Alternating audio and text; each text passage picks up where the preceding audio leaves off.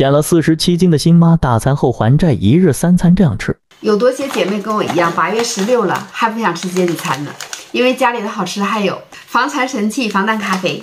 我有十五天没好好吃减脂餐了，我得回归了。防弹咖啡，一个鸡蛋，不馋不饿，顶到中午。我今天的体重是九十七点九斤，长秤二点四斤。中午我们喝燕麦麸皮粥，燕麦麸皮饱腹感比较强，二十克就行。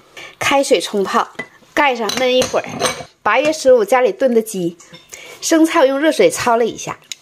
现在天气凉，不想吃生的生菜，我就用热水冒了一下。如果不吃甜咸菜，掉秤还更好。我就是板不住，总想吃点咸菜。中午吃二十克就可以了，那一勺子就十八克，我崴了两大勺，这都有四十多克了，我吃一半就行了。今天少吃一点。这一下长了四斤半呢，群里就我长得最多，我长得最多，群主长得最多，都不好意思。晚餐就喝一碗银耳羹，蛋白质呢是一个鸡肉肠。大餐过后喝点银耳，银耳是高钾的食材。